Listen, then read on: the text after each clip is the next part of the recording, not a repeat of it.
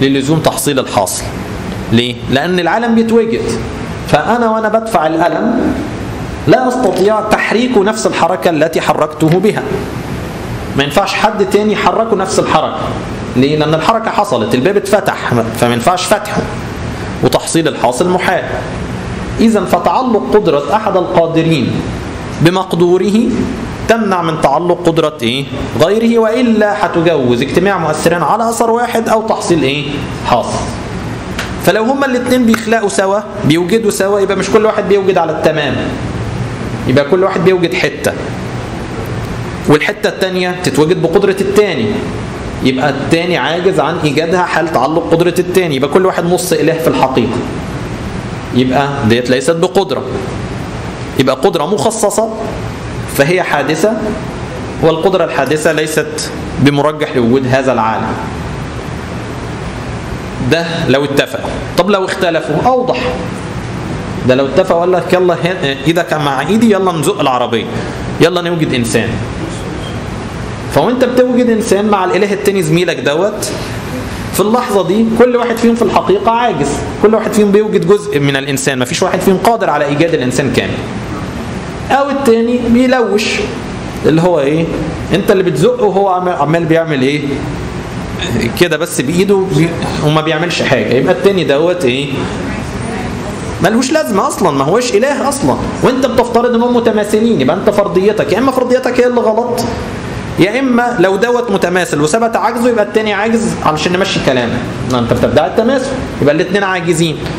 ولو الاثنين عاجزين يبقى العالم مش موجود والعيان يكذبه لو كان فيهما آلهة إلا الله لفسدتا لفسدتا يعني إيه؟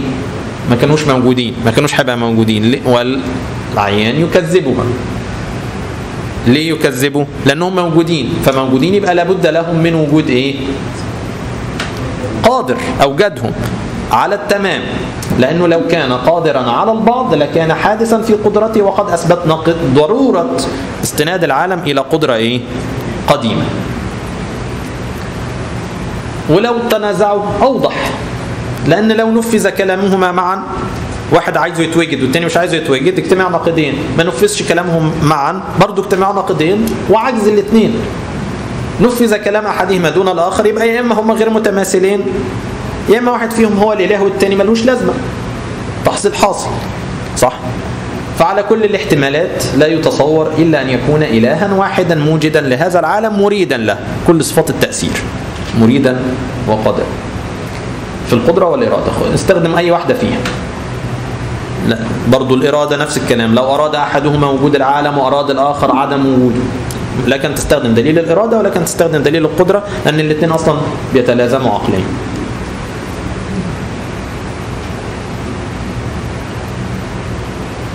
يبقى دوت الذات القادرة الواحدة واحدة. ارجع بقى للسطرين اللي إحنا تجاوزناهم. ويلزم أن تكون كل صفة من صفاته تعالى واحدة وإلا لزم اجتماع المثلين إن في قدرتين بيتأتى منهم نفس التأثير وأحدهما لا تأثير له. وتحصيل الحاصل وهو محال. فلما أثبتنا أن كل ما في الوجود من أثر القدرة القديمة قال وبهذا الدليل تعرف استحالة أن يكون لشيء من العالم تأثير البتة في أثر ما. لما يلزم عليه من خروج ذلك الأثر عن قدرة مولانا جل وعز وإرادته وذلك يوجب أن يغلب الحادث القديم وهو محال. فبرضه ما بنقولش إن الإله ما لازم بالك الكون والكون بيشتغل لوحده. فبالتالي البطة بتولد والإله مش هو اللي بيخلق الجنين مش بيخلق الكتكوت. ليه؟ محال إيجاد البطة لكتكوتها أو لبيضتها ديت هل الإله قادر على إيجادها ولا لا؟ لو هي اللي بتوجدها من عدم. فلو هي اللي بتوجدها من عدم يبقى القدرة لا ت... ما ينفعش يتوارد مقدورين أو أثرين مؤثرين على أثر إيه؟ واحد. يبقى ضرورة الثاني إيه؟ عاجز. يبقى هي غلب الحديث الحادث القديم سبحانه وتعالى. فلا أثر إذن لقدرة المخلوق في حركة ولا سكون ولا طاعة ولا معصية ولا في أثر ما على العموم لا مباشرة ولا تولدا. تولدا زي أحجار الدومينو. إن أنا بزق حاجة فالحاجه بتقعد تزق تزق تزق. في الآخر أنا المؤثر الأول. أو مباشرة إن أنا اللي بزق كل حجر من أحجار الدومينو دوت. كل دوت وما رميت إذ رميت ولكن الله رمى. أنتم تزرعونه أم نحن الزارعون؟ دوت الايه؟ المعنى الحقيقي. إن الله سبحانه وتعالى خلقكم خلقنا وما نعمل. خالق كل شيء سبحانه وتعالى. ومن كل ومن كل الأشياء أفعلنا.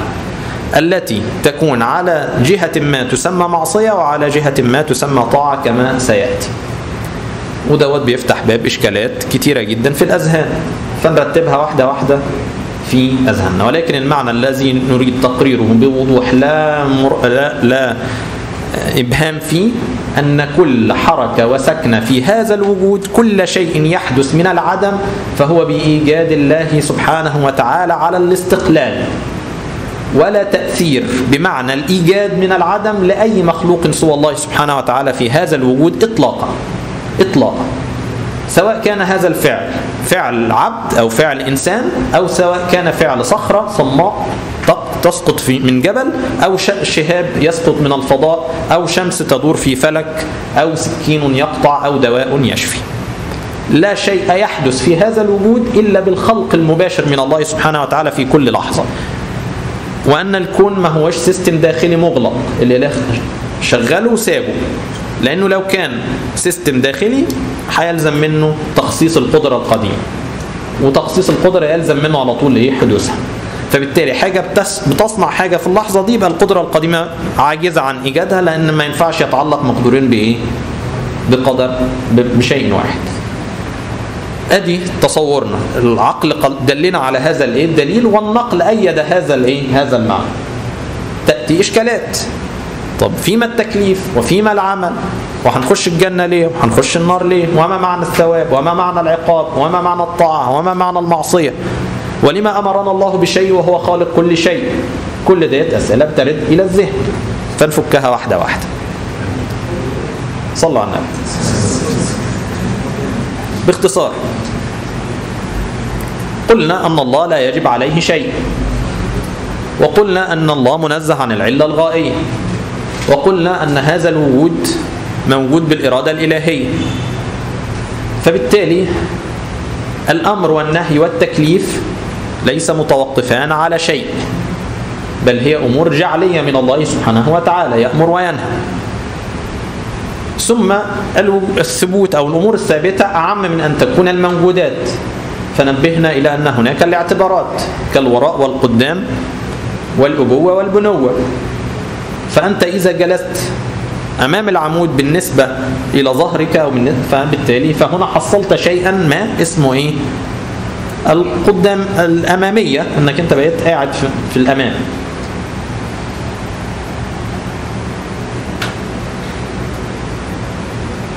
هذه الموجودات يمكن أن ترتب بقدر ما. يعني أستطيع أن أنا أحط الأحمر هنا والأخضر هنا. وأستطيع أن أنا أعكس. فإذا قيل لي بأنك لو وضعت الأحمر أمام الأخضر دخلت الجنة جاز عقلا. وإذا قيل إذا وضعت الأخضر هو الأمام برضو جاز. مفيش إشكال لأن الإله مش ملزم إن هو يكون في مبرر عقلي للإيه؟ أصلا السؤال ساقط. علشان كده قلنا إن في بعض التشريعات بتجد عين المحرم واجب في شريعة أخرى. حاجة محرمة واجبه في شريعة إيه؟ أخرى. كما وجب ذبح الابن على سيدنا إبراهيم. هذا تشريعه وهو محرم علينا في الإسلام وفي معظم الشرائع. فالشيء ممكن يكون بذاته واجب وسبب لدخول النار لو لم تمتثل وبذاته محرم وسبب دخول النار لو فعلت. ليه؟ لأن الأشياء الأحكام التكليفية ليست صادرة عن إيه؟ علة غائية للإله. أو صفة ذاتية للأشياء لأن لا صفة ذاتية للإيه؟ للأشياء وإنما هي أمور جعلية. يعني إيه جعلية؟ قال لي لما تعمل الفعل ده هتخش الجنة ولما ما تعملش الفعل ده هتخش النار. يبقى دي حررنا أصلا إن أفعالنا هي السبب العقلي لدخول الجنة أو النار. لا يدخل أحدكم الجنة بإيه؟ بعمله ولا أنت يا رسول الله ولا أنا. وإنما هي أمور جعلية. طيب. ثم نجد من أنفسنا بداهة التفرقة بين الفعل الاختياري والفعل الاضطراري. لما بيجي لك مرض والعياذ بالله درجة حرارتك ترتفع تلاقي نفسك بترتعش لا تستطيع إيقاف الرعشة دي عن نفسك. وده فعل اضطراري تجده من نفسك بداهة. والفعل الاختياري هو أفعالنا اليومية اللي بنفعلها. فالبداهة والوجدان يفرقان بين شعورنا بالاضطرار وشعورنا بالاختيار. ولكن هل شعورنا بالاختيار دال على أن هذا الاختيار مخلوق لنا يعني موجود من العدم؟ هذه جهة مختلفة. فالاختيار هو عدم الإجبار على الفعل. هو إرادة الفعل. ماشي؟ وأنت تجد في نفسك هذه الإرادة. لا نستطيع أن ننكرها. ولكن إرادتك للفعل هل تعني أنك خلقت هذا الفعل أوجدته من العدم؟ إطلاقا. بل تعني فقط أنك اخترته. وهنتكلم على اختيارك ده كمان كمان شوية. بس خلونا نخلص من واحدة واحدة. خلونا نخلص من مستوى الفعل نفسه. ففعلك في ذاته وإن كان واقعا بالاختيار إلى أنه ليس مخلوقا لك. بل غاية ما في الأمر أنه مكتسب لك. يعني إيه مكتسب؟ يعني أنه خلق عند إرادتك. ودوت مثاله. وطبعا اللي محتاج تفصيل أقرب يرجع إلى الإحياء في كتاب التوحيد والتوكل. الإمام الغزالي أطال النفس جدا في التشبيه. وإنك أنت لو شفت قلم بيكتب على اللوحة إلى آخر هذه الأمثال ولكن مثال ميكانيكا. إنك أنت بتدور ترس فلما الترس ده يدور يدور ترس تاني. فإرادتك أول ما تشتغل ويحصل منك النزوع إلى اختيار شيء ما يخلق عند هذه الإرادة فعل آخر. ويخلق فيك الحركة ويخلق فيك القدرة عليه فتكتسب فيؤدي إلى إيه؟ إلى حدوث الفعل. لا إيدك اللي اتحركت مخلوقة ليك من العدم لأنك بداهة. حتى على سبيل التقريب كده. معنى الخلق إيجاد من عدم. أنت أصلا مش عارف كم عصب اتحرك مش عارف كم حركة عملتها في هذا الوجود. ده أنت أقرب إلى الآلة لو تأملت. أعصابك اشتغلت. شوف كم شيء انبعث داخل نفسك وكم حركة في ميكانيكية العضلة بتاعتك اتحركت فيها وكم شيء اكتسب واكتسب وكل دوت مش معلوم لك. فكيف يقال أن حركتك هذه اختيارية بالمعنى ده. عن كمال الخلق وإيجاد. ما الخلق هو إيجاد من عدم. وأنت لا تستطيع الإيجاد من العدم لهذه الأداة. إذا الذي يحدث أنه لما يوجد الفعل عقيب الإرادة تتوهم أنه حاصل بحولك وبقوتك. وهو دوت معنى لا حول ولا قوة إلا بالله. أي لا تحول عن شيء ولا قدرة على شيء إلا بالله. ودوت معنى أنها كنز من كنوز الجنة. ليه؟ لأن رأس دخول الجنة هو مشاهدة تمام الألوهية. وتمام الألوهية هي كمال التصرف في هذا الوجود. فبالتالي يبقى أنت لشدة تلازم الأمرين تتصور بينهما السببية. فاكرين لما قلنا لكم أن السببية دليل عقلي مخالط للعادي أو دليل عقلي فيه شب أو دليل عادي فيه شبهة العقلية؟ فمعنى السببية لا ننكره أن لا بد لها من فاعل ولكن تعيين الفاعل هو مثار الغلط. تعيين الفعل هو مسار الايه الغلط. ولله المثل الأعلى زي الطفل اللي بيبقى راكب على العجلة ومتصور إن هو إيه؟ سند نفسه وأبوه ماسكها له من ورا علشان ما يقعش. فمتوهم أن الاتزان أتى من قبله وهو فقط أراد الاتزان. فلما أراده لكمال شفقة أبيه عليه أوجد له هذا الاتزان. وربما حرك ساقيه من غير تأثير ودفعها الأب. فيتوهم الابن برضه أنه هو إيه؟ المحرك. وليس له إلا الإيه؟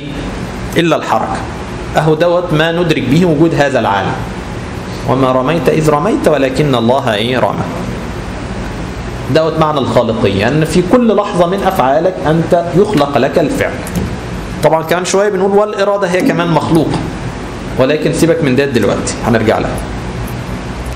ثم هذا الفعل قد يتعلق به أمر فيقول لي ما تشربش المشروب ده لأني سميته خمرا أو, أو لأنه خمر وأنا حرمت عليك الخمر. واشرب هذا المشروب لأني سميته ماء أو لأنه ماء وأنا أبحت لك الإيه؟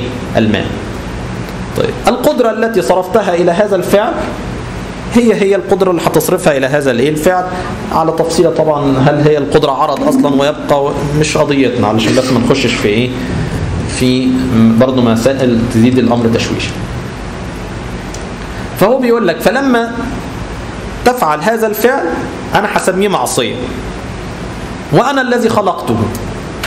طب يبقى أنت الفعل؟ لا أنت الفاعل لأنك أنت باعتبار أنك اكتسبته. يعني اكتسبته صرفت قدرتك الحادثة إلي المستندة إلى إرادتك الحادثة. فلما تصرفها إلى شيء منهي عنه بيسمى معصية ولما تصرفها إلى شيء مأمور به بنسميها طاعة. فيحصل الثواب والعقاب ولا تتوهم أن الطاعة هي سبب الثواب والعقاب وإلا لزم منه وجود مؤثر وموجب على الله. ودوت معنى لا يدخل أحدكم الجنة به بعمله. لو أنت فكر أن طاعتك وصلاتك هي اللي بتدخلك الجنة تكفر تكفر مش تعصى تكفر. ليه تكفر؟ لأنك جعلت في هذا الوجود مؤثر سوى الله سبحانه وتعالى. بل الذي جعل دخول الجنة عقيب الصلاة هو الله. يعني إيه؟ يعني لو أراد أن يدخلك النار عقيب الصلاة لفعل. إذا فهو أدخلك الجنة فضلا منه سبحانه وتعالى. إذا أراد أن يظهر فضله عليك خلق العمل ونسبه إليك. فبالتالي صارت الطاعات كلها كسبا من العبد وخلقا من الله ودخول الجنة والثواب عليها فضلا تاما من الله بلا استحقاق. فعلمنا أن السعيد من دخل الجنة وأن هذا غاية الفضل أنك بلا حول ولا قوة أتيت إلى هذا الوجود. وبلا حول ولا قوة خلقت لك القدرة على اكتساب ما يسمى بالطاعات. وبلا حول ولا قوة دخلت الجنة. فأي فضل بعد هذا الفضل؟ غاية الفضل غاية الكرم. هو الكرم الإلهي. علشان كده في الحقيقة أعلى مراتب المحبة في كمال التوحيد. ليه؟ لأنك لا ترى شيئا من ذاتك كل منه. يبقى أحمق الحمقى من ترك هذه النعمة العظيمة وهي التوفيق للطاعة اعتراضا على التاني بقى. لو بصينا بقى صرفت أبصرنا للتاني. والعياذ بالله سبحانه وتعالى. ليه يا رب؟ الكافر كفر. ما هو برضه نفس القصة. غاية الخذلان. هؤلاء أهل الجنة ولا أبالي وهؤلاء أهل النار ولا أبالي. منذ منذ بدء منذ البداية أصلا. البداية أهل الجنة مخلوقين للجنة وأهل النار مخلوقين للنار. طب إحنا موجودين ليه؟ لظهور الفضل دوت. فضلا ان إحنا أصلا نافين العلة الغائية عن الله. ولكن فتفهم أنها عطاء وكرم ليك بلا بلا سبب. عشان كده الصوفيه لما يقول لك إن الحب هو سبب الوجود يقصدوا بها معنى إيه؟ على إيه حسرة أنت هتدخلي وتخش الجنة؟ على إيه؟ فهو محبة غاية المحبة بلا سبب لأنه منزه عن السبب. فتكرم عليك بالوجود والإيجاد وأدخلك الإيه؟ الجنة. دي كلمة الإمام العطاء إذا أراد أن يظهر فضله عليك خلق العمل ونسبه إليك. وتعبدك بنسبة العمل إليك. من لم يشكر الناس لم يشكر الله. ليه؟ لأن صار البشر قبلة الشكر كما صارت الكعبة قبلة السجود ونحن لا نسجد للكعبة ولا نعبد البشر. ولكن نتعبدك. النبي لما كان بيعطي الصدقة إنما أنا قاسم والله هو المعطي. اليد العليا خير من اليد السفلى. فشرف اليد المعطية وهو الذي أعطى اليد المعطية. علشان كده بر الوالدين مثلا غاية الشرف والتفضيل لهما أن جعل هذين تحديدا تمام؟ جعل هذين هذين تحديدا سببا لإيه؟ لوجودك. فلولاهما لما وجدت. رغم ان هو الخالق. بس اختارهم ليكونوا مظهر لوجودك. سبب يجري عليه الوجود. فيتعبدك بشكرهما. ويتعبدك ببرهما. ليه؟ أهو أهو ده التشريف. وتفهم منها غاية التشريف للنبي صلى الله عليه وسلم. إنك أنت مش هتخش الجنة إلا تحت قدميه وإلا بطاعته. بعض الحمقى لقيتهم بيقول لك يعني بيست- بيستعظموا كلمة فداك أبي وأمي اللي الصحابة كانوا بيقولوها. مش خلي أبوك وأمك ينفعوك يوم القيامة. سيب النبي وخلي أبوك وأمك ينفعوك. ده هيفر المرء من ابي من من أمه وأبيه. لولا أن أم وأبي يكونوا متبعين للنبي صلى الله عليه وسلم وأنت تكون متبعا للنبي فيشفع فينا النبي فتقوم الساعة ويدخل وندخل الجنة لا تحصل لنا النجاة. ما ده غاية الفضل. إن ربنا بيجعل الفضائل على يد أشخاص. فكما لا وجود لك إلا من أبويك لا, لا هداية لك إلا على يد النبي صلى الله عليه وسلم. غاية التشريف. أهو ربنا بيوزع المنازل وبيوزع ال... ودي غاية الاعتراض. اشمعنى فلان غني؟ اشمعنى هو اللي يديني صدقة وأنا اللي اخد منه الصدقة؟ أهم يقسمون رحمة ربك نحن قسمنا بينهم معيشة سر الاعتراض في هذا الوجود اشمعنى دوت اللي ينزل عليه القرآن من بيننا؟ قسمة ربنا. في الآخر وإنما واجبك أن تكون, أن تكون عبدا فيما أقامك لا فيما أردته. يعني إيه؟ يعني إذا ابتلاك لا قدر الله بالفقر وجعلك الآخذ يبقى عبادتك هي شكر المعطي. المعطي المتصدق والمعطي الأول القاسم هو الله سبحانه وتعالى والعكس صحيح. إذا جعلك المتصدق يبقى ترى الفضل من الله سبحانه وتعالى وإنما أنت إيه؟ قاسم لا. يبقى الطاعة والمعصية هي عبارة عن إيه؟ هي أمور. هي انصراف القدرة الحادثة إلى فعل. هو منهي عنه والثواب والعقاب أمور جعلية لا, لا عن سبيل التأثير. بل جعلها الله سبحانه وتعالى. عشان كده قالوا أن الطاعة والمعصية في الحقيقة علامات وليست علل. يعني إيه علامات؟ يعني إذا رأينا الطاعة استبشرنا بحصول السعادة.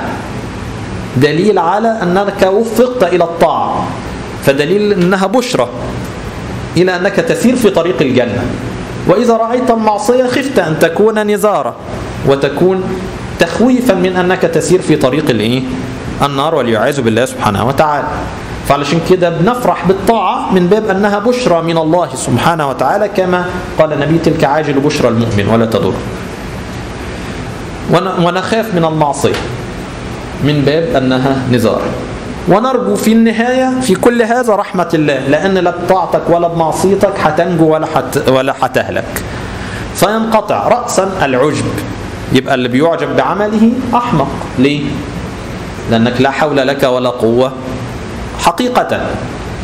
يبقى لما بتغتر على الخلق وتتنفخ كده بفلوسك ولا بمالك ولا بجاهك ولا بعبادتك يبقى دي غاية الغباء. غاية الغباء ليه؟ أنك فخرت أو يعني تفاخرت بما ليس لك وبما هو زائل أصلا. ونسيت الفضل من الله سبحانه وتعالى. طيب أفلا يكون ظلما؟ أنه خلق بعض الخلق. وخلق فيهم المعصية. وأدخلهم النار. وده سؤال سيدنا أبو الأسود الدؤلي لسيدنا عمران بن حسين من كبار صحابة النبي صلى الله عليه وسلم كما رواه مسلم. فراح سيدنا سيدنا عمران عمران عذرا هو اللي سأل سيدنا أبو الأسود. يختبره. كان صح يعني بيشوف فهمه. فقال له لقد وقف شعر رأسي. هذا ملكه. يعني إيه؟ يعني العدل فرع من الايه من الملك من الملك. من المالكية من الحق. وهل هناك حق سوى لله سبحانه وتعالى في هذا الوجود؟ فلا يتصور منه الظلم أبدا. ليه؟ لأن كل ما في الوجود هو له. فما الفرق بين الحجر وبين الإنسان؟ ده بيتألم بيقول آه بس بيصعب عليك. مش أكتر. ماشي. يصعب عليك. علشان تدعوه وتحرص عليه. ما لولا الرقة التي خلقها الله سبحانه وتعالى في طبعك لما حرصت على هدايته ولكن في النهاية أنك لا تهدي من أحببت. ولكن في حقيقة المعنى المجرد الإنسان مثل مثل الحجر. في أن كل خلق من خلق الله سبحانه وتعالى لو أراد أن يهلك هذا لفعل ولو أراد أن يهلك هذا لفعل. فالإنسان لم يزدد استحقاقا بحياته ولا بعقله ولا بأصل خلقته. ودي نزعة شيطانية. ان هو ظن إن بأصل خلقته الشريفة اللي هي من من نار استحق أي منزلة على الإيه على الإنسان. والإنسان يظن أنه بأصل خلقته الشريفة يستحق منزلة على الحجر. حاشا لله. بل المنزلة هي كرمنا بني آدم تكريم من الله. ولولا التكريم منه قل كونوا حجارة أو حديدا هتبقوا حاجة واحدة حتى تساوي فبالتالي الله يتصرف في ملكه كيف يشاء. فلا يكون خلق إنسان وإدخاله النار منذ الأزل ظلما لأنه هو تصرف في ملك الله سبحانه وتعالى. شديد على النفس شديد على النفس. ومن هنا تنقطع القلوب خوفا. خوفا ليه؟ لأنه لا يبالي. ودوت معنى الكلام اللي الإمام الغزالي اتكلم عليه. ده هو الخوف الحقيقي. مش الخوف الحقيقي ان هو منتقم ولا جبار. الخوف الحقيقي إنه لا يجب عليه شيء. مش معنى كده إن هو عبثي. معنى كده إنك أنت مالكش منزلة ذاتية. فتفهم منها أن الكرم والتنزيل والتكريم والتشريف والتعظيم والتسييد كلها أمور جعلية من الله سبحانه وتعالى. فهنا ينقطع الخوف يحصل الخوف. الخوف من هو إيه؟ لو انت لو أنت كفرت هتعمل إيه؟ لو أهل الأرض كلهم كفروا هتعمل إيه؟ لو المسيح وحاشاه ان يكفر هو وأمه. لا يبالي سبحانه وتعالى. هيدخلهم النار. بصريح نصوص القرآن. علشان كده الرسل كانوا بيخافوا على نفسهم من هذه الحيثية إنهم لم يستحقوا النجاة لكونهم رسلا. لأنه ما لهمش صفات ذاتية اسمها الرسالة. بل استحقوا النجاة كرما من الله سبحانه وتعالى. فتفهم ليه الصحابة المبشرين بالجنة كانوا بيخافوا. رغم إنهم هم كانوا شاكين في وعد النبي صلى الله عليه وسلم. حاشاهم يكفروا لو وحاشاهم من الكفر لو لو أنكروا وعد النبي بدخولهم الجنة. ولكن يعلمون أنها أمور غير ذاتية وأنها أمور جعلية وأن الله سبحانه وتعالى لا يجب عليه شيء. فمن هذه الجهة يحصل الخوف. ومن هذه الجهة يحصل الرجاء ولكن الرجاء بغاية الكرم والرحمة. ومن هذه الجهة تحصل المحبة. إذا رأيت أنه قادر على هذا يخلق إنسان ويجعله عظيما شريفا سيدا في قوم كالنمرود ولا كفرعون وهامان ثم يدخله النار. في لحظة يخسف به الأرض. في لحظة. ويدخله النار ويخلق. ويختم الله سبحانه وتعالى على قلبي فلا يهتدي ولا يبصر. وترى مثل هذا وترى الفضل عندك إن هو بصرك وهداك وألهمك اتباع النبي صلى الله عليه وسلم بلا حول منك ولا قوة. تعلم غاية الفضل. فدوت تحصل به كمال المحبة لو تاملت يبقى إحنا بنفهم الكون إزاي؟ بنفهم إن في الكون كل من خلق الله سبحانه وتعالى وإنما نحن ظل في يد الصمد كما يقولون في الشعر. وأننا نكتسب أقدار الله سبحانه وتعالى التي أرادها لنا وأن التشريع والأمر والنهي هو صرف الإرادة التي نجدها في أنفسنا إلى الأمر والنهي. ثم نكتشف أن الإرادة هي كمان إيه؟ مخلوقة لله. طب ما هي طالما هي مخلوقة ما يخلقها بقى ويهدينا ملكش دعوة لأنك لا تستطيع معرفة ما سيحدث في الزمان الثاني وإنما ما تجد الآن هو صرف إيه؟ الإرادة التي عندك إلى الفعل. الذي هو أمر ونهي. علشان كده الادعاء بأن لو شاء الله ما أشركنا أنتم مالكم. هي حقيقة ولكنها بتقال في معرض التبرير. لأنك لا تعلم مشيئة الله سبحانه وتعالى. لكن الحقيقة هي قاهرة. فبالتالي بعد وقوع المشيئة بعد وقوع الفعل نقول أن هذا مشيئة الله سبحانه وتعالى. عشان كده في أول الموطأ قصة الطاعون لما ظهر الطاعون في عمواس وسيدنا عمر كان داخل الشام استشار الصحابة ندخل ولا ما ندخلش؟ فجمع مشيخة قريش المهاجرين فقهاء الصحابة. قالوا له لا تدخل لا تورد الناس على هذا الهلاك. وجمع الأنصار فاختلفوا عليه. لغاية ما جه الصحابي مش فاكر مين بيقول له إيه؟ أتفر من قدر الله لما سيدنا عمر قرر إن هو ما يخشش خلاص. سيدنا أبو عبيد. أتفر من قدر الله؟ بيقول لسيدنا عمر. قال له لو غيرك قالها تيجي من غيرك ما تجيش منك. نعم نفر من قدر الله إلى قدر الله. يعني إيه الكلمة العبقرية دي؟ أن كل ما واقع فسيكون بقدر الله ولكنك مأمور بتحصيل ما فيه المنفعة وما فيه الوجوب الشرعي. فإن حصلته سميناه قدرا. وإن حصلته معصية سميتناه قدرا. برضو بعض الوقوع. ولكن لا نحتج بالقدر قبل الإيه؟ قبل الوقوع. علشان كده زي ما برضو أشرنا حديث البخاري لما سيدنا آدم التقى بسيدنا موسى أنت سيدنا موسى بيقول له أنت أبانا اللي خرجتنا من السم من الجنة. سيدنا آدم بيقول له إيه؟ شيء كتبه الله علي أم شيء فعلته؟ قال بل شيء كتبه الله عليك. فهنا النبي بيعلق ويقول فحج آدم موسى فحج آدم موسى فحج آدم موسى ليه؟ لأن بعد الوقوع قدر الله ما شاء فعل. هل هذا استهانة بالذنب؟ بل هذا تسليم ورجاء لله سبحانه وتعالى. فتفهم منها أن العقيدة بتاعت إنك أنت إنسان شرير وإن الذنوب منك وإنك أنت إنسان ادبا. نعم بنقول الشر ليس إليك ونضيفه بما كسبت أنفسكم. تمام؟ نضيفها إلى نفسنا ولكن في الحقيقة كل من الله كل من الله ولكن باعتبار الأدب بنضيفها إلى نفسنا. فبالتالي ما بقيناش فكرة طائع ومهتدي وعاصي ووحش وقريب إلى آخر هذه الحماقات. كل دي فتحت أبواب من مشاهدة النفس لأنك ظنيت أنك أنت بحولك وبقوتك بتطيع وبتعصي فبتتعالى على العاصي. بتبص له باحتقار في حين أنه هو سبحانه وتعالى هداك وأضله أو أوقعه في المعصية. ولو شاء لعكس سبحانه وتعالى. وليس على الله ببعيد. فإذا دام تعلقك تعلق القلب بمراد الله سبحانه وتعالى وبمشاهدة رحمته وبالخوف من استمرار توالي الخذلان عليك ربما أعقب الطاعة أو ربما عقب المعصية بالطاعة سبحانه وتعالى. يبقى هي دوت معنى لا حول ولا قوة إلا بالله.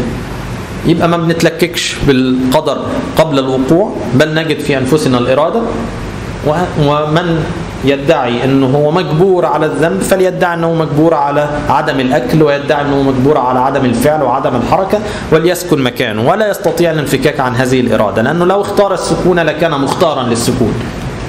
فانت تيجي عند الطاعة والمعصية وتقول ربنا هو اللي أراد. طب والأكل اللي لسه لغو من شوية وأكله دوت ربنا برضه هو اللي أراده. ليه ما قعدتش ساكت وقلت لو أراد لا إيه؟ لساق إلي الطعام. أنتم زي البوبي كمان شوية أول ما تجوع والأكل يقرصك وتاكل. ما ده اختيار برضه. فيبقى الهضية؟ الهضية استعباط مش أكتر. الإرادة واحدة. كون إنها مخلوقة لله سبحانه وتعالى ده لا ينفي أنك مأمور بصرفها إلى الإيه؟ إلى الطاعة ومنعها عن المعصية. فإن وقعت لا قدر الله في المعصية لا ينقطع الرجاء بل هي أقدار خلاص قدر الله وما شاء فعل وابدأ من جديد. واصرف ولا يمل الله حتى تمل. بذلك تستقيم الحياة. وليس هذا في الطاعة والمعصية فقط بل في جملة الأسباب. فبالتالي بتروح للدكتور لأنك مأمور بالذهاب إلى الطبيب في التداوي. وعاصي. لو امتنعت عن التداوي فيما هو واجب لأن بعض التداوي مباح. مش كل الدواء طبعا تفصيلتها في الفقه. مش كل الدواء واجب. ويسامحنا الدكاترة في هذه القضية. مش بس من حق إن أنا أختار حق من المريض. بعض الأمراض حق إن أنا في الآخر أختار إن أنا إيه؟ ما تعالجش. لكن بعضها يجب. لو كان شفائها شبه حتمي عادة. تسيب نفسك تهلك فيها تأثم تبقى منتحر. أو متلف لنفسك. فيجب عليك. لا الطبيب هو اللي بيشفيك ولا الدواء هو اللي بيشفيك. وإنما أنت مأمور. وقلنا بعد قلنا في كلام سابق فالوجود كله من مفتتحه إلى مختتمه يتحرك بأمرين لا ثالث لهما. شرائع سواء بقى إلهية أو غير إلهية وطبائع. فمن لطفه إنه ركب فيك غريزة البقاء وركب فيك الجوع وركب فيك الألم وركب فيك اللذة.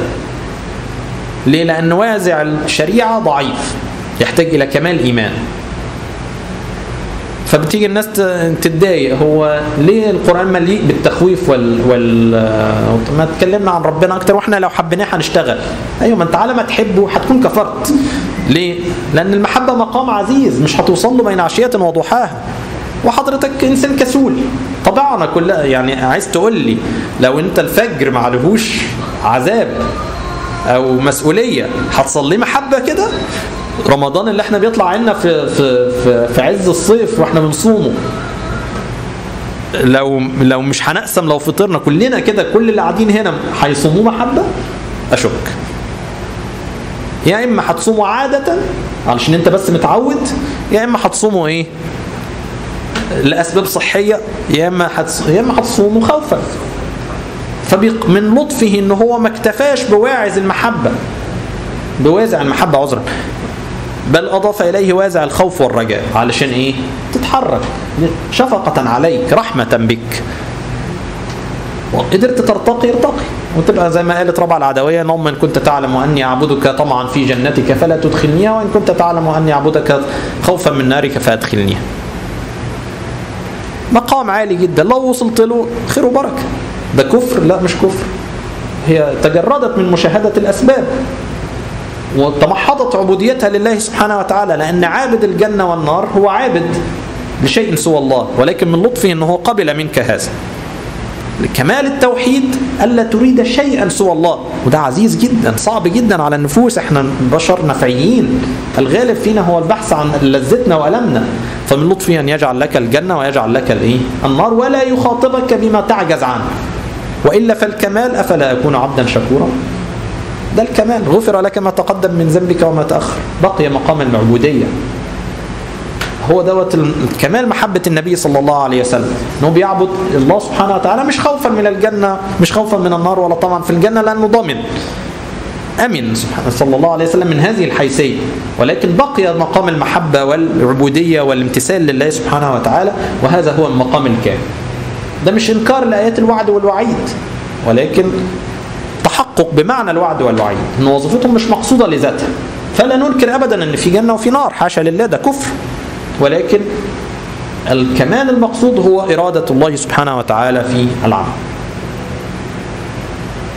يبقى دوت فكرة التكليف وفكرة الأمر والنهي وفكرة القضاء والقدر. يبقى كل ما في الوجود هو بقدر الله وكل ما في الوجود هو في علم الله السابق. ولا يكون في هذا الوجود إلا ما علمه الله ولا يتجدد علمه. وكل علمه هو واقع ويخلق في لحظة ما. ولكن باعتبار كسبك أنت مطالب بصرف الإرادة التي تجدها إلى ما أمرت به ونهيت عنه فتتحرك في هذا الوجود بمقتضى الطبع أو بمقتضى الشرع. فإن ضعف الوازع الشرعي حركك الوازع الايه الطبع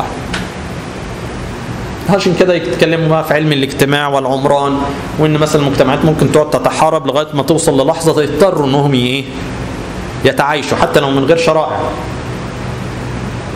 يشوفوا إنهم هيفنوا بعض. فتلاقي المجتمعات تبدأ مع وقت معين إنهم يبدأوا يضطروا إلى الإيه؟ إلى التعاون. طبعا. غريزة البقاء تضطرك. واضح المعنى؟ وتصور إن الإنسان بقى بيرتقي عن الشرائع برضه حماقه الإنسان ما بيرتقيش عن شرائع ولا نيلة. ده بيزداد غباء وبيزداد جشعا وبيزداد طمعا كل ده طبعا كلام طويل فيه تشعبات ولكن لطف الله إن هو حط الحاجتين دولت. الشرائع لتكون هي الفضيلة والطباع ليبقى النوع الإنساني. فلولا انك انت في طبعك اللذة والألم وبتخاف منهم كانت حاجات كتيرة جدا الشرع لوحده مش هيقوى كدافع لولا إن في عقوبة اسمها الإعدام عشان كده اللي بيدرس علم القانون يقول لك من شرط تعريف القانون إن هو يكون إيه؟ عليه عقوبة رادعة. لو توبيخ ولا ما يقول لك ده مش ده, ده كده نصوص إرشادية أو لايحة. لكن القانون لازم يبقى فيه في مقابله إيه؟ عقوبة. ليه؟ ما أنت مش هتلتزم إلا لو في عقوبة. طب أنا مؤدب وبربط الحزام لوحدي من غير ما يحطوا لي كاميرات؟ إيش خير وبركة. بس مش كل الناس كده. وهتربطه مرة مش هتربطه 10 يبقى دوت هي الفكرة. دوت الوجود. فاهمين الوجود بهذا المعنى. طب والطبع هو الذي خلق والشرع هو الذي أنزله. فعشان كده بيقول لك وبهذا الدليل تعرف استحالة أن يكون لشيء من العالم تأثير البتة في أثر ما. لما يلزم عليه من خروج ذلك الأثر عن قدرة مولانا جل وعز وإرادته. وذلك يوجب أن يغلب الحادث القديم وهو محال.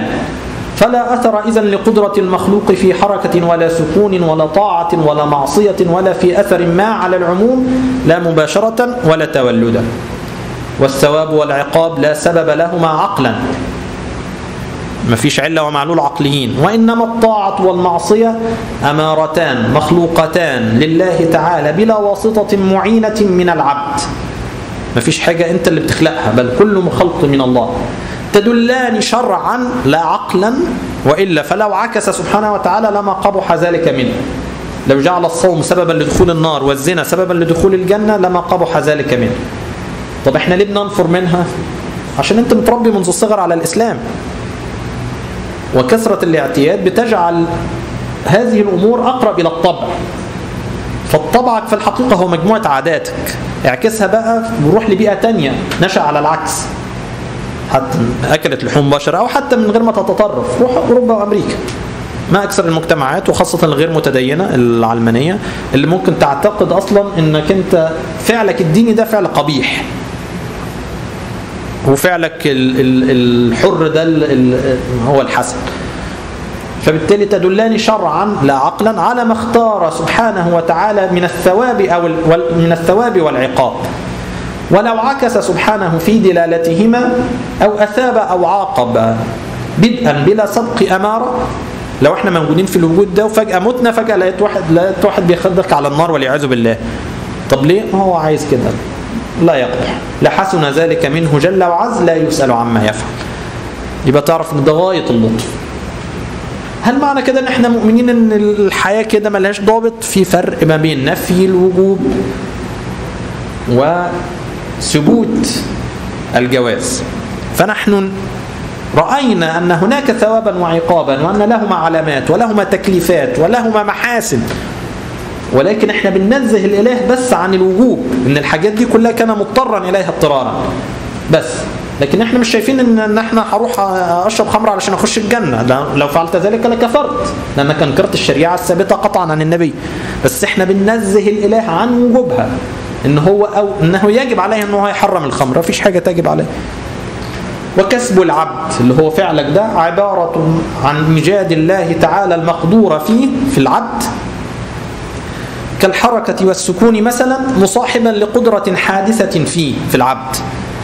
تتعلق بذلك المقدور من غير تأثير لها فيه أصلا. معنى كده إن إحنا بننكر السببية بننكر التأثير. بننكر التأثير مش بننكر السببية. وإلا فالسبب العادي الذي يجب اكتسابه هو الذي يجب اكتسابه. عايز تسخن المية يجب عليك تسخين المية.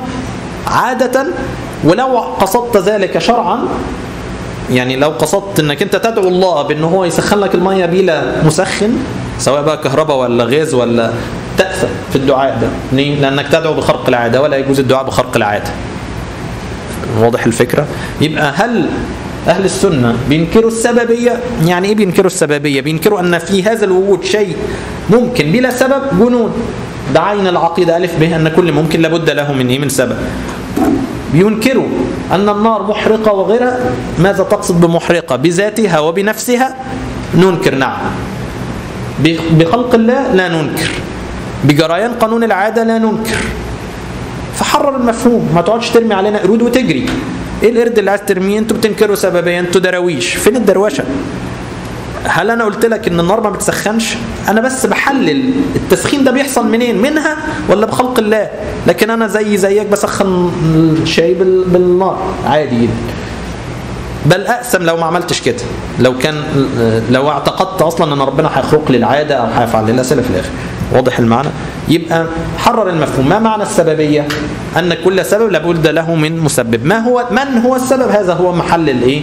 البحث. كوني أقريت إن المسبب هو الله لا يعني ان يجب علي اكتساب الأسباب العادية لأنه هو الذي وضع لي قوانين العادة في الدنيا وأمرني باكتسابها. يبقى وبذلك بنفهم إن قانون المعجزة أن المعجزة اللي هنتكلم عليها كالنار وسيدنا إبراهيم ما هياش شيء تغير في قانون الكون.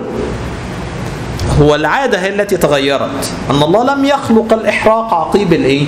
ممسة النار رغم أن العادة كانت جارية بذلك. لأن النار مش محرقة بإيه؟ بطبعها. يبقى قوانين العادة مش خارقة للقوانين العقلية. عذرا المعجزات مش خارقة للقوانين العقلية وإنما خارقة للقوانين العادية. وهي اضطراد حصول الأثر عقيب المؤثر العادي. وإلا فالمؤثر الحقيقي هو الله سبحانه وتعالى. وهذا الكسب اللي هو حركتك الإرادية دوت هو متعلق التكليف الشرعي. فأنت مطالب بصرفه إلى الطاعة وأمارة الثواب والعقاب شرعا لا عقلا. اللي بيدل لما بتصرفها إلى الصلاة بنقول إنك أنت هتساب والذي يدل على مصاحبة هذه القدرة الحادثة للفعل وإن لم يكن لها فيه تأثير البتة إدراكنا الفرق ضرورة بين حركة الارتعاش ونحوها من الحركات الاضطرارية وبين غيرها من الحركات الاختيارية. ولا فرق بينهما. بعد السبر التام إلا كون هذه الاختيارية مقرونة بقدرة حادثة في العبد يحس بها تيسر الفعل عليه بخلاف الأولى الاضطرارية. يبقى إحنا ما بننكرش إن في حركتين من العبد واحدة اختيارية واحدة إيه؟ اضطرارية. فخرج لك من هذا أن بقولنا إن مع الفعل الذي لم يحس لم يحس صاحبه فيه الاضطرار قدرة حادثة في العبد هي عرض من الأعراض كالعلم ونحوه تتعلق بالفعل وإن لم نرى لها تأثيرا فيه أصلا. أنك أنت عندك حاجة اسمها القدرة وإن ما كانتش هي المؤثرة انفصلنا عن مذهب الجبرية القائلين بنفي قدرة حادثة في العبد مطلقا. يبقى الجبر المذموم عندنا هو نفي القدرة الحادثة مش نفي تأثير القدرة الحادثة. اللي بيقولوا إن الدنيا ريشة في هوا إن كل فعلك ده ان إنك أنت اسكن وما تفعلش أي فعل علشان ربنا هو اللي إيه؟ بيعمل كل حاجة. لأنهم أهملوا ملاحظة الإيه؟ القدرة الحادثة. أما الكلام في التأثير فده مش هو النزاع. وبقولنا ليس لتلك القدرة الحادثة تأثير في الفعل أصلا وإنما تتعلق به وتصاحبه فقط. انفصلنا عن مذهب القدرية. مجوس هذه الأمة موصوفين بالمجوس ليه؟ بغض النظر عن صحة الحديث يعني. إن فيها حديث بيروى. لأن المجوس إله للخير يروى إله للشر. ليه؟ علشان يهربوا من فكرة الظلم ومعضلة الشر. لأنهم شافوا إن لو في لولا إن في خالق آخر للشرور غير الله كان الإله ده هيبقى شرير. فإحنا بنقول يعني إيه شرور؟ وهل الإله يجب عليه فعل الصلاح والأصلح ليك ولا لا؟ وه... نفس الكلام فاحنا هدينها من بابها أصلا. الإله يعمل اللي هو عايزه. وده لا يسمى بشر بالنسبة للمطلق. بالنسبة لك سميه شر. أكيد لو بيتك لا قدر الله تهد شر بالنسبة ليك. ولكن هل يجب على الإله إنه لا يفعل ما هو شر بالنسبة ليك اطلاقا؟ وقد يكون هذا الشر خير المليون واحد غيرك. اللي هيبني لك البيت واللي هياخد منك الفلوس؟ والدكتور اللي هينقذك والحانوت اللي هيغسلك انفصلنا عن مذهب القدرية مجوسي هذه الأمة القائلين بأن تلك القدرة الحادثة في العبد بها يخترع العبد أفعاله على حسب إرادته. قالوا وبذلك أطاع وعصى وعليه أثيب وعوقب. وقد سبق لك أن الثواب والعقاب لا سبب لهما عقلا عند أهل الحق وإنما الطاعات والمعاصي أمارات جعلية لا علل عقلية فتحقق بهذا تمييز مذهب الحق عن المذهبين الفاسدين وهما مذهب الجبرية والقدرية فإن تمييزه عنهما مما يلتبس على كثير. وكذلك لا أثر للطعام في الشبع ولا للماء في الري والنبات والنظافة ولا للنار في الإحراق أو التسخين أو نضج, أو نضج الطعام ولا للثواب ولا للثوب أو الجدار في الستر أو دفع الحر والبرد. ولا للشجرة في الظل ولا للشمس وسائر الكواكب في الضوء ولا للسكين في القطع ولا للماء البارد في كسر قوة حرارة ماء آخر كما لا أثر لذلك الآخر في كسر قوة برده. وقس على هذا كل ما أجرى الله تعالى عادته أن يوجد عنده شيئا عنده لا به. ولتعلم أنه من الله تعالى بدءا بلا واسطة ولا أثر فيه لتلك الأشياء المقارنة. لا بطبعها ولا بقوة أو خاصة جعلها الله تعالى فيها كما يعتقده كثير من الجهلة وقد ذكر غير واحد من محقق الأئمة الاتفاق على كفر من اعتقد تأثير تلك الأشياء بطبعها. أنها ذاتية والخلاف نقل الخلاف في كفر من اعتقد أن تأثيرها بقوة أو خاصة جعلها الله تعالى فيها وإن نزعها لم تؤثر. بغض النظر عن المسألة الفقهية فقد عرفت بهذه الجمل ما يجب في حقه تعالى وما يستحيل وهذا هو عين التوحيد. إنك ترى ما في الوجود كله من الله ابتداء وانتهاء وتفهم ليه أنت بتسمي الله قبل كل فعل. قبل الأكل وقبل الشرب ما هيش تبرك ما هيش كلمات بخور بنولعها قبل الإيه؟ قبل الفعل. بل لأنك ترى أن كل شيء من الله. وكله عطاء من الله وبتلبس الثوب لأنه هو الذي أعطاك وهو الذي كساك وهو الذي سترك به. سترك على الحقيقة.